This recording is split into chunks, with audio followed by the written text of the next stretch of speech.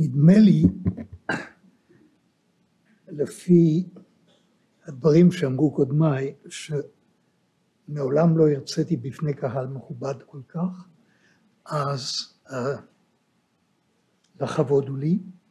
ואני אעבור לשפה האנגלית, מפני שזו השפה שבה אני חושב, שאני חושב באופן מקצועי, אז אני מתנצל על זה. אני גם מתנצל על זה שאני אצטרך uh, לעזוב בשעה עשרים לשמונה, יש לי התחייבות אחרת. ו- I will talk about two things, and both of which sort of should call for both admiration and modesty about the quality of the human mind. The first question is when can we trust intuition? And the second question, it's not really a question, it's a description of competitions between humans and algorithms in, in prediction. Judgment, as psychologists use the term, has an object and a scale. For example, a job candidate is the object and a scale of predicted success, or a sick person and a list of possible diagnoses. And the judgment assigns a particular value to the object on the scale. This is very much like measurement. And in fact, we speak in the book Noise, we speak of judgment as measurement, where the measuring instrument is a human mind. Now, judgment is typically complex. It integrates a lot of information. And it is, if you can compute the result, or if you can look up the result, that's not a judgment. Judgment is almost defined by the fact that there is residual uncertainty, that reasonable people can disagree in matters of judgment. In fact, it defines judgment that people can disagree. And yet, some judgments are clearly wrong, and we know that as well. Now, judgment come, in, come about in different ways, and one of these ways, one of the more important, is intuitive judgment is a special kind, where, which is defined by the fact that we feel we know something without knowing how we know it. Now, that doesn't guarantee that we actually know it, but we feel we know it. And this is a process that I've called fast thinking or system one thinking. Intuition is sometimes wonderful and is often flawed. And that's the first topic that I want to talk about. But I will give you an example in which uh, I think a question will generate an intuition in you. And this is a very simple story. Uh, it's based, well, it's required on knowing the, the scoring system, the grading system in American universities, which you probably are familiar with, where four is the maximum. And I'm going to talk about a woman named Julie, who is a graduating senior at an American university. And, uh, and I'll tell you one fact about Julie, that she read fluently when she was eight, four, when she was four years old. That's the one fact. And the question is, what is her grade point average on the scale, on the American scale, of zero to four? And the point that I want to, to make, first of all, is that I'm quite convinced that every one of you has a number and that the number came to mind almost immediately. And I think I know how the number came to mind, and this is what I want to describe. The first thing is you're impressed by, by the precocity, by Julie's precocity, that she read fluently when she was age four. Now, this is not absolutely extraordinary. Many people read at age four. You know, if you'd read at age two, it would be much more impressive, but it's quite impressive, age four. Now, then, so you had an impression of precocity. And what you did then, that produced the number on the GPA scale, is you took the intensity of the feeling about her precocity and you translated that directly onto the GPA scale. This is what just about everybody does. So if you had an intuition, it probably is a high number. It probably some, you know, at least in the United States, for most people, it's around 3.7 or 3.8. It's not higher than that and not very much lower. Now, the first point that I'd like to make is that this intuition is absurd statistically. This is not the way you should be thinking about it. Because this kind of thinking would be appropriate if you could perfectly predict Julie's grade point average from her reading age, but you cannot perfectly predict it. In fact, uh, the prediction of GPA from reading age is quite weak. What you should do instead, what people should do instead, the correct solution, is to start by assuming that you know nothing about Julie, in which case you would predict the average grade at, at, an American university, and then you make an adjustment upward, probably because she is above average in intelligence, but not a very large adjustment, because so many factors can determine her grade point average in addition to her reading age. So here is an intuition. Just about everybody has it. Most people who are not trained statisticians feel that it is quite reasonable.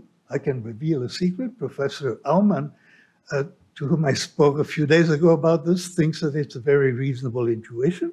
So I, I don't think so. Um, and this example illustrates three features of intuition. The first one is that you didn't answer the question that I asked. You answered another question. I call that substitution. You substituted the question of how precocious she was, when in fact I had asked you, what is her grade point average? This mechanism of answering a different question than the question we were asked, typically an easier question, is basic to intuitive reasoning. We do this all the time. And this is the reason why we're almost never stumped. We're almost never without an answer to a question. Because if we don't know the answer to the question we were asked, automatically it's transformed into another question, an easier question that we can understand, and we give the answer to that question without being aware that we've answered the wrong one. So that's the first process. The second process is matching, that you had years of, you know, her reading age is on one scale, the GPA grade point average is another scale, and you simply translated from uh, age to GPA without being aware that you were doing this. And that happened, and the matching is very close, the matching of intensity. And this is the way that people think about it. The third characteristic of intuition that is revealed in this example is something that I've called what you see is all there is. I give you one fact about Julie, and somehow you use that fact as if it was sufficient. You, we, our intuition, we use that fact, the single fact, as if it's sufficient to make a judgment. This is a characteristic of human judgment. Now, the, another thing that is illustrated by this particular example is that our intuitions are often endorsed. That is, we accept the intuition as a judgment. This is what Professor Aumann did, for example, that it just felt reasonable to him even after I argued against it. Now, so much for intuition, and obviously these are flaws. At the same time, it's quite obvious that intuition can be marvelous. So you have a chess player who is a master chess player who goes by a chess position, glances at it and say white mates in three or something like that. You have the physician who across the room can detect, can look at a patient and have a diagnosis from looking at the, at the distribution of blood in the face. So there are many marvels of expert intuition. And I engaged in what I called an adversarial collaboration with a colleague of mine, a psychologist, a colleague, an adversary, uh, Gary Klein, who doesn't believe anything of what I do. We have very different attitudes, and he is really a proponent and a great believer in expertise in general and in intuitive expertise in particular. Now, I invited him to we to discuss together the following question. Clearly, intuition is marvelous sometimes. Clearly, intuition is flawed sometimes. Where is the boundary? When can we trust intuition and when can we not? And it turns out it took us six years to, uh, to agree on something that is ridiculously simple when, you, uh, when we finished. But what we found, or the conclusion was, uh, there are three conditions under which you can trust intuition. And you need all three to be satisfied. And the first one is that the world be predictable. The world should be regular enough so that you can learn the regularities. And basically, intuition is recognition of the regularity in the world. The second condition is an opportunity to practice. Without a long opportunity to practice, you do not develop intuition. And the third, which is quite important, is that you need immediate feedback from reality. That is, when you make a judgment, when you make a guess, you shouldn't be, you shouldn't have to wait three weeks to know whether the judgment is right or wrong. You should know that immediately. I need a glass of water. Now, the three conditions, regularity, practice, and immediate feedback, are actually very demanding. And they're rarely satisfied. And so the conclusion really must be that expert intuition exists, but it's relatively rare. And most of the intuition that we have, like the one about Julie, but there are many, many others, they're, they're just false. We have, it feels like an, an intuition, it feels as if we know something, but in fact, we don't, because those conditions are not satisfied. So subjectively, incorrect intuitions are undistinguishable from correct ones. So it's not as if you have a signal that tells you internally whether your intuition is correct or wrong. Uh, very often we feel that we must be right because we can only think of one solution to the question. But the absence of alternatives is actually a poor indication of accuracy. Sometimes we feel great confidence in our judgment. Turns out that confidence, subjective confidence, is a very poor indicator of accuracy. The only valid basis for trusting intuition, I believe, and that's true for your own intuitions and for those of anybody else, is whether those three conditions that I mentioned earlier are satisfied. If they're satisfied, then there is a good basis to believe that intuition can be trusted. If they're not, then it's a good idea to doubt it. Now, what is remarkable, actually, is that in many fields, in many professions, there is no feedback. And this is true, I mean, let me give you an example that I've worked on a long time. For um, underwriters and insurance companies, they, they set a premium and they will never know whether that premium was too high or too low. There's just no feedback. And this is one of many professions. Radiologists get feedback, but they very rarely get immediate feedback except in training.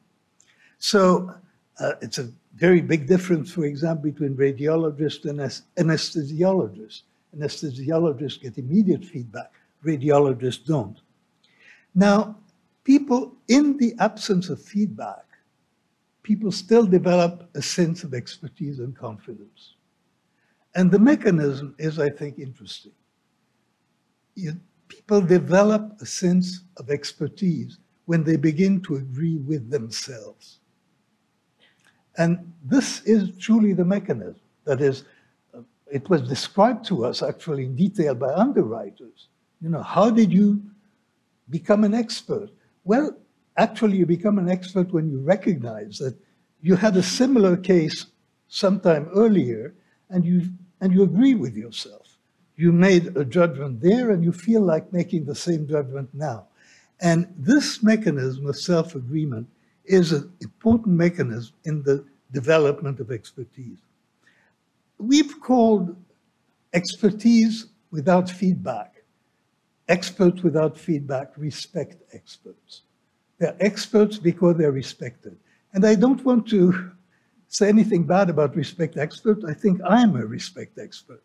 The, respect experts are recognized as such, but they actually do not have feedback about the quality of what they're doing and saying. And that's sort of important. There were experts in astrology, and this is really useful to remember. That is, people who were respected, who were convinced of themselves, who were intelligent, articulate, they knew a lot, except they didn't know the truth. And they had no way of finding out that they didn't know the truth. So that's, that was my answer to the first question that I mentioned. And before we discuss artificial intelligence, I want to talk about another story, an older story, which is the story of comparing human judgment to algorithms and very, simple statistical algorithms. And this story actually started in 1954. And, and it's a very simple story. When you give people, humans, a lot of information or some information, and you give some of that information to a formula, to a very simple formula, and you compare the results, the accuracy of the predictions. This is all about predictive judgments. I want to make that clear. Uh, when you compare the accuracy of the predictions, in about half of the cases, and there have been hundreds of studies, in about half of them, the statistical prediction is clearly superior. In the other half, it's about a draw. There are essentially no exceptions in which human judgment was actually better than a simple formula. And the formulas are very simple. Even very simple formulas turn out to be uh, more accurate than people.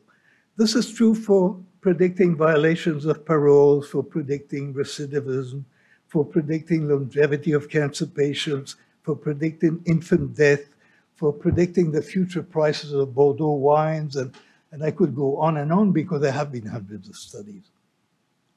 So we find that formulas do better than people, and we find something else which I think is important, that when you take the human judge and you give the human judge the formula, they do worse than if they hadn't touched the formula on average.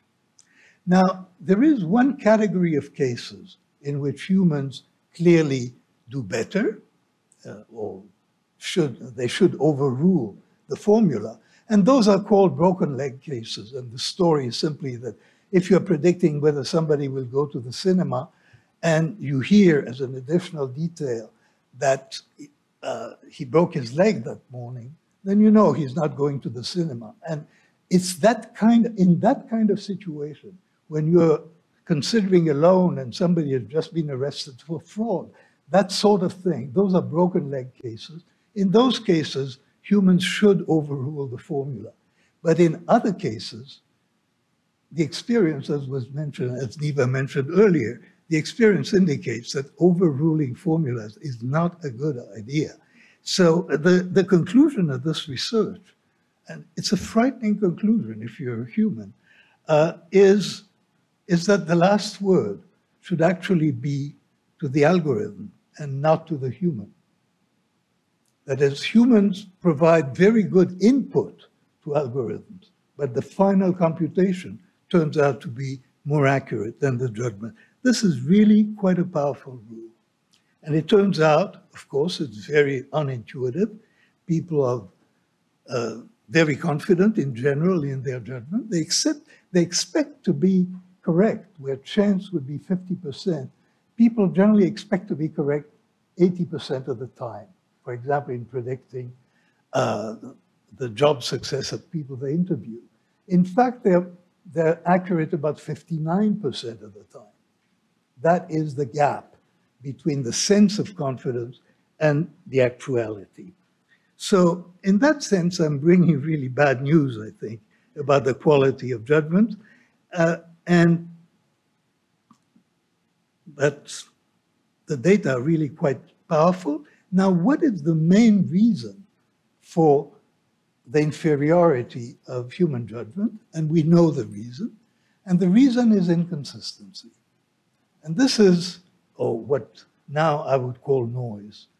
And here there is something that's really deeply non-intuitive that I'm going to tell you, which is both non-intuitive and, and probably true, as a lot of research indicates, that when you have a lot of information that you have to combine into a judgment, the simple combination, a simple linear combination of just adding things up and weighting them, or even not weighting them, just adding things up, the simple is better than the complicated. Now, in intuitive judgment, what we do is we change the weights of different attributes for different cases, and we feel that's the way you should do it. You take a characteristic of an individual and you give that a lot of weight, and other characteristic not so, and the next individual you pick another feature and you give it a lot of weight. This is where humans turn out to be worse than formulas. And actually the sense that people have of being clever, the sense that we have of being clever, uh, we feel clever when we produce noise. And that's, uh, that seems to be what research indicates. So I want to point out that the difference between humans and formulas is not large. It's small. And it's small because of another major fact that people often don't think about, which is that the world is really true, really and truly unpredictable.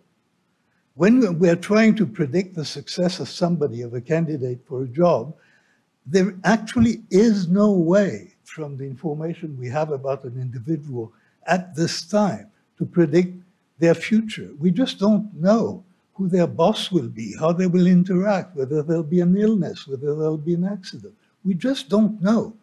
And the unpredictability of the world is the main source of the mistakes that are made. It's not that people make mistakes in prediction, they do make mistakes, but the biggest factor is what we've called objective ignorance that simply the world is often unpredictable.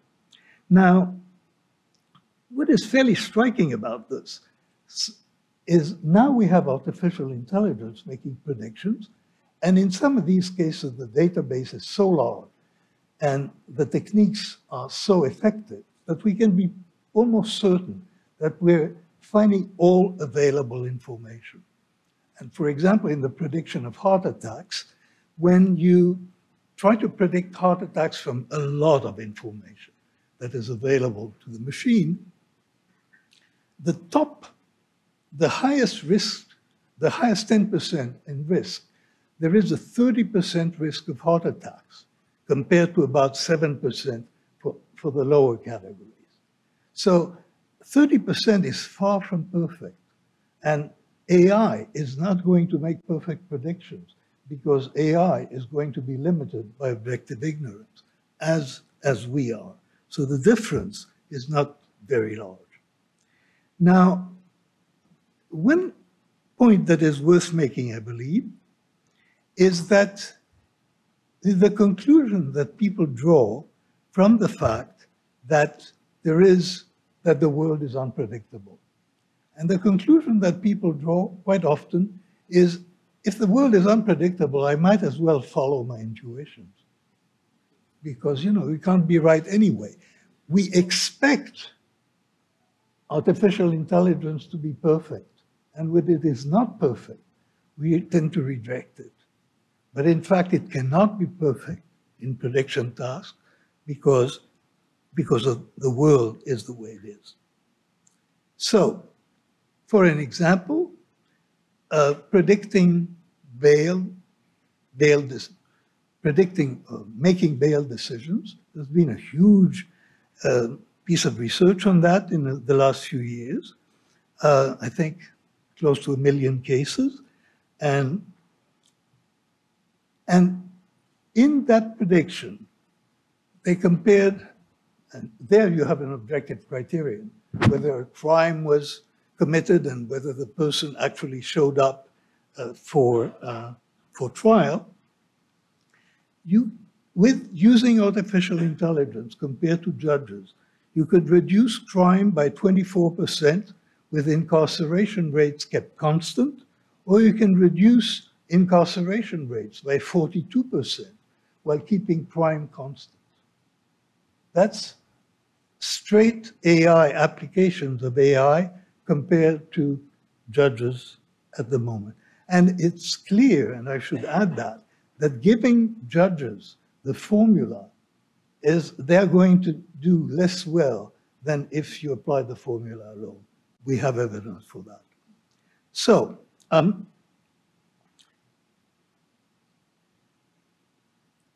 there is resistance to algorithms. You know, none of us like algorithms, none of us like the idea of algorithms being better than humans.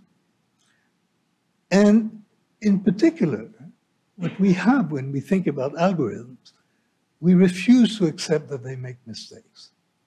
And the mistakes that algorithms make are shocking. So when a self-driving car runs over a person, this is not at all the same thing as when a driver runs over a person.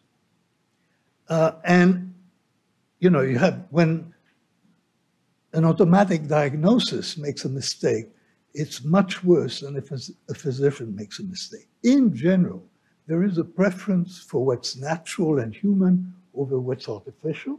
It's the same thing with vaccination. Think of how many children you would have to save to compensate for one child who dies from the vaccine. And it's not one to one. It's probably not 100 to one. So it's a very high ratio. And it's a very high bar for algorithm to pass. So my guess is that self-driving cars are already safer than people. But that certainly is absolutely not enough for us to accept them. Now, an indication of things to come. Uh, in China, there has been research on judges making decisions about bankruptcy cases Chapter 11 bankruptcy cases, compared to artificial intelligence using that uses basically only financial data. And artificial intelligence is much more accurate than judges are. And the idea is that in at least one Chinese province, for this particular type of cases, they're going to implement AI that at least looks probable at the moment. So uh, this is coming. In the short term and in the medium term, however, uh, humans are going to make the decisions. And the question of how to improve the decision that humans make is absolutely crucial. Uh, you know, the progress in AI is going to happen whether, actually, whether we like it or not. This is, this is running. The thing that we do, might have some control over is how to make people, how to make humans think a little better. And that would be the topic for another lecture, but this lecture is finished. Thank you.